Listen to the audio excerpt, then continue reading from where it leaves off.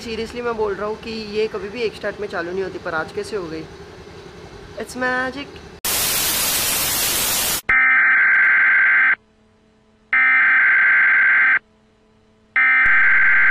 We interrupt our program to bring you this important message. एक ज़रूरी सूचना। इस वीडियो के अंदर बहुत सारी ज़रूरी बातें होंगी। तो अगर आप लोगों को ज़रूरी बातें सुनना नहीं ज़रूरी लगता तो आप किसी और वीडियो में आ सकते हैं।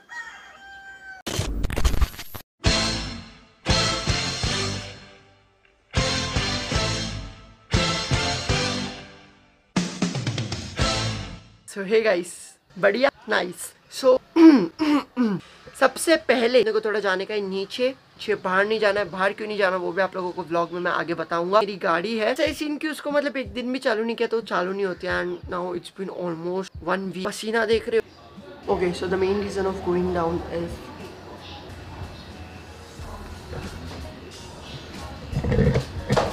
जो कुछ भी हुआ है मैं आप लोगों को बताऊँगा, पर पहले अपने नीचे जाकर आते हैं एंड ऑलराइट सो गाइस अपनी गाड़ी इधर है और ये देखो, ये डेफिनेटली मैं आप लोगों को लिख के दे रहा हूँ, ये एक स्टार्ट में चालू नहीं होगी। डेफिनेटली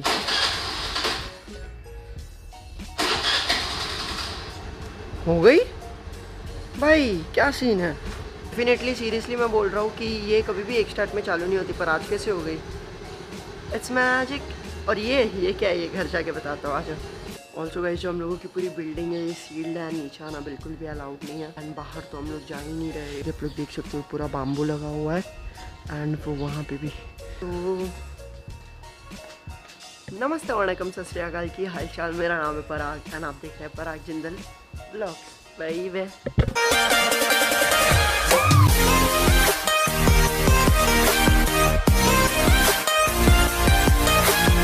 यहाँ पे नीचे आना बिल्कुल भी अलाउड नहीं है। हमारे बिल्डिंग में एक कोविड का पेशेंट मिला है। इस बात को तीन चार दिन हो गए हैं। एंड ये तीन चार दिन ऐसे शिवरिंग में गए थे कि क्या है, क्या नहीं। क्योंकि डर लगता है ना बॉस कि अपने भी बिल्डिंग में पेशेंट है। एंड या सो अभी सैनिटाइजेशन वगैरह फ़िलहाल कंपाउंड का हो गया है तो हम लोग एटलीस्ट मतलब नीचे उतर सकते हैं। एंड कुछ इंपॉर्टेंट काम है तो फिर नहीं है, जो है घर पे वैसे ही रहना पड़ रहा है, वैसे ही खाना पड़ रहा है। अभी हमारे बिल्डिंग में पेशेंट मिले हुए तीन से चार दिन हो गए हैं एंड हम सबको होम क्वारंटीन किया जा चुका है। जो भी चीज़ है हम लोग फ़िलहाल घर के अंदर ट्रैप्ड है इलेवेंथ जून हम लोग ट्रैप है अपने घर के अंदर ही। एंड ना हम लोग बाहर जा सकते हैं ना हम लोग बाहर से कोई अंदर। वैसे तो बहुत मतलब ट्वेंटी थर्ड मार्च से हम लोगों के बिल्डिंग में ना बाहर के किसी को आने दिया है। और हम भी बाहर जाते हैं तो there are some rules and regulations like eight to eleven ही सिर्फ़ हम लोगों का गेट ओपन रहता है। विद इन थ्री आवर्स हम लोगों को जो भी काम है, वो करके घर आना है। बिल्डिंग वालों ने तो हमारे बहुत ज़्यादा अच्छा इनिशिएटिव लिया था कि ये चीज़ें स्प्रेड ना हो। पर हमारे बिल्डिंग के जो सेक्रेटरी है, उनको कोविड पॉजिटिव आया। पर इसको कहते हैं रिस्पॉन्सिबल सिटीज़न उनको लगा, ज़रा सा लगा कि उनको तकलीफ़ हो रही है, उन्होंने कोविड टेस्ट कराया एंड पॉजिटिव आया। वो चुपचाप अपना लगेज लेके like they went to the hospital उनकी फ़िलहाल फैमिली तो पूरा क्वारंटीन ही है एंड हम लोगों को भी इलेवन जून तक होम क्वारंटीन ही बोला है। मतलब हम लोग बाहर भी नहीं जा सकते। ये सामान वगैरह ऑनलाइन ऑर्डर कर सकते हो तो करो, वरना। जा रहा हूँ बाबा हाँ। मैं नीचे गाड़ी देखने के लिए आया था। दो मिनट में मैं जा रहा हूँ। निकल। पहली फुर्सत में निकल।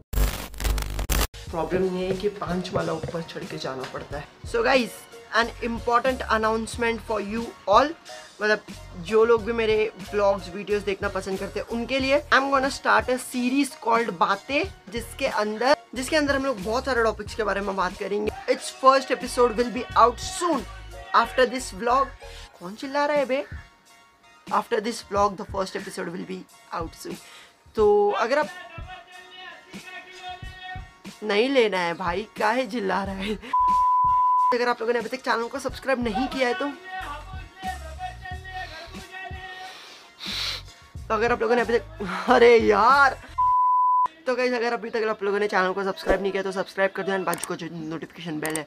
उसको ज़रूर दबा देना ताकि अपन जब भी वीडियो डाले तो आप लोगों को उसका नोटिफिकेशन आ जाए। बाय ब्रो तो रुको जरा सबर करो। ऑल्सो गाइज़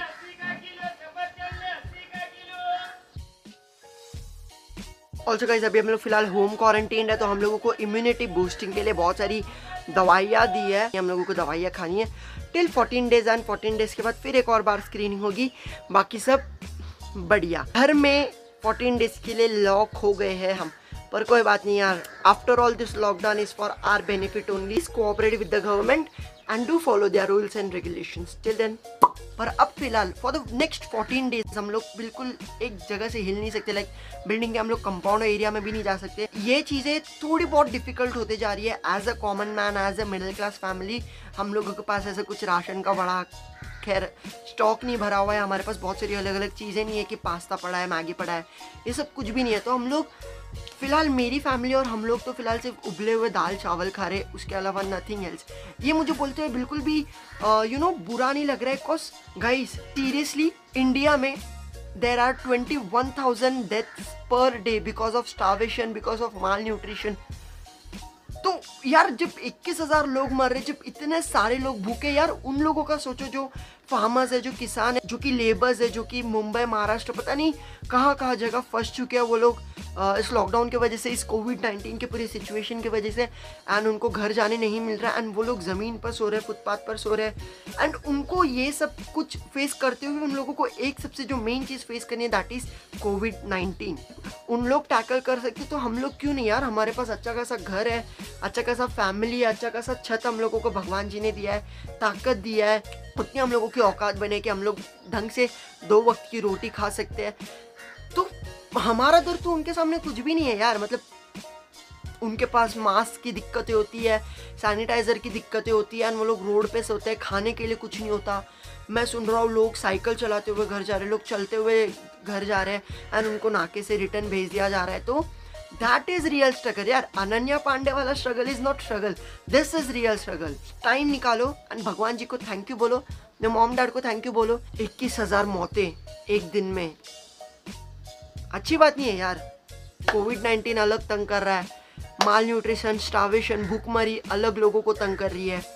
इंसान जाए तो जाए कहाँ? ओके सो गाइज़ एक खुशिया फाउंडेशन है। क्योंकि डिटेल्स मैं पूरी की पूरी जो है डिस्क्रिप्शन में दे दूँगा। लोगों का एक छोटा सा इनिशिएटिव है एंड वो ये कोविड नाइन्टीन के सिचुएशन से पहले भी लोगों को फ़ीड कर रहे थे। दैट इज़ रोटी कर एंड मुझे बोलते हुए ऐसे बहुत ज़्यादा अच्छा लग रहा है कि ये फाउंडेशन में मेरी भी एक फ्रेंड है लाइक मेरी टीचर है ही use to teach me tenth standard तो तो वही उनका कॉन्टैक्ट नंबर आप लोगों को यहाँ पे स्क्रीन पे आ रहा होगा डिस्क्रिप्शन में भी है. सो so गाइज़ अगर आपसे टेन रुपीज़ भी डोनेट होता है तो टेन रुपीज़ भी डोनेट कर दो हमको हमारी ज़रूरत है. वो कि टेन रुपीज़ का कॉन्ट्रीब्यूशन भी बहुत ज़्यादा बड़ा मार्क उनके लिए सेट करेगा कॉज दस रुपये में वो दो वड़ा पाव किसी दो गरीब भूखे बच्चों को देंगे. तो यार इतना कर रहे हैं तो हम दस पंद्रह रुपये तो डोनेट कर सकते हैं। गूगल पे नंबर नीचे है। प्लीज़ डोनेट कीजिए। आप लोगों को स्क्रीन पे एक इमेज आ रही होगी। आप जैसे कि आप लोग देख सकते हो उन्होंने फ्रेश कुकड मील से लेकर उन्होंने राशन से लेकर सैनिटरी पैड्स नैपकिन्स मास्क सब कुछ डिस्ट्रीब्यूट किया है। तो यार प्लीज़ हो सकता है तो करो। मैंने अपना बिट कर दिया जितना हो सके। आप करो। Alright, so guys, that's pretty much for today's video. Also, do follow me on Instagram. और कुछ भी किसी भी चीज़ से रिलेटेड क्वेश्चन है प्लीज़ मेरे को इंस्टाग्राम पे डीएम कर लेना मैं आप लोगों को वहाँ पर उसका जवाब दे दूँगा। और ये वीडियो के बारे में announce it on my Instagram तो इसलिए बोल रहा हूँ यार अगर फॉलो नहीं किया है तो कर लो। और ये जो कुछ छंद लोगों ने बोला है कि नो इस सज्जन को क्या तकलीफ़ है भाई? क्या तकलीफ़ है इनको? क्या तकलीफ़ है भाई? देखो ना एंजॉय करो। And guys please do the needful अगर आप कर सकते हो टेन फिफ्टीन रुपीज़ डोनेट तो कर सकते हो। अगर दस लोगों ने भी फिफ्टीन रुपीज़ डोनेट किया तो डेढ़ सौ रुपये डेढ़ सौ रुपये में थर्टी वड़ा पाव आएँगे एंड थर्टी गरीब बच्चों का पेट भरेगा। मैं ये नहीं कह रहा हूँ एक वड़ा पाव से पेट भरता है पर स्टिल यार एटलीस्ट उनके पेट को सहारा तो मिलेगा। And guys please properly precautions low. And हम तो फ़िलहाल फोर्टीन डेज़ के लिए लॉकडाउन है। होप आप लोगों को ये वीडियो पसंद आई होगी। आई नो यार। थोड़ी सी बहुत सारे लोगों के लिए ये वीडियो पका हुई होगी, पर यार, पर आफ्टर ऑल ज़रूरी है ये सारी बातें रखना। And guys stay tuned a new video of बातें will be out soon bye Bharat में जो देशद्रोही